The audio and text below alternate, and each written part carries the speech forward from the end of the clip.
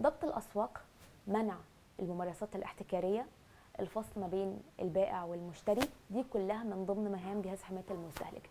إزاي بنحافظ على المواطن؟ إزاي بنحميه وبالأخص في ظل الظروف اللي إحنا فيها. في البداية خلينا نقول إن جهاز حماية المستهلك هو أحد أجهزة الدولة اللي أنشئ آه، خصيصا لحماية وصون حقوق المستهلكين. ده بيتماشى مع توجهات الدولة الاستراتيجية اللي بتتبناها الدولة في الاهتمام بكل مشكلات المواطنين. توجيهات السيد الرئيس عبد الفتاح السيسي الدائمة في ضبط الأسواق حماية وصون حقوق المستهلكين. فالجهاز بيأدي رسالته بفريق عمل من الشباب لتنفيذ برنامج الحكومة اللي اعلنه السيد الدكتور مصطفى مدبولي اللي هي ضرورة إيجاد آليات غير تقليدية لضبط الأسواق للتفاعل مع شكاوي المواطنين مم.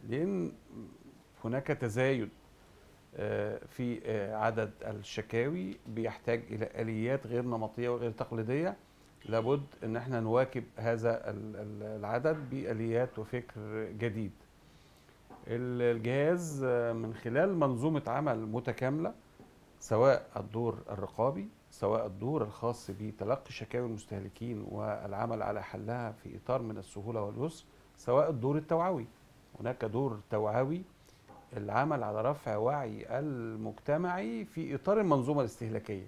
لأن بدون وعي مجتمعي لا يمكن أن تأتي الجهود المؤثره ده بنتائج شعار جهاز حماية المستهلك. التوعية. الرقابة والحماية ال- الجهاز آه، بدأ في استحداث آليات جديدة إن يبقى في منظومة تلقي الشكاوي تبقى على مدار اليوم آه، بدل ما كانت بتقعد للساعة 3 مساء ال call center بدأنا نفعل منظومة ال call center من آه، خلال الاستفادة من آه، فكرة الشابات الخدمة العامة بالتنسيق مع وزارة التضامن الاجتماعي وكانت تجربة نجحت وأدت إلى نتائج إيجابية وبقى عندهم خبرة ودراية بكيفية التعامل مع شكاوي المواطنين، الاستماع لشكاوي المواطنين، تسجيلها، إحالتها ده للفحص. من خلال المرصد الإعلامي من خلال ال- إدارة الاتصال أو مركز الاتصال الخاص اللي هو ال call center الخاص بالجهاز. المرصد الإعلامي ده إدارة أخرى لرصد الإعلانات المضللة. آه يعني فبدأ ال call center يعمل على مدار اليوم. مم. على مدار اليوم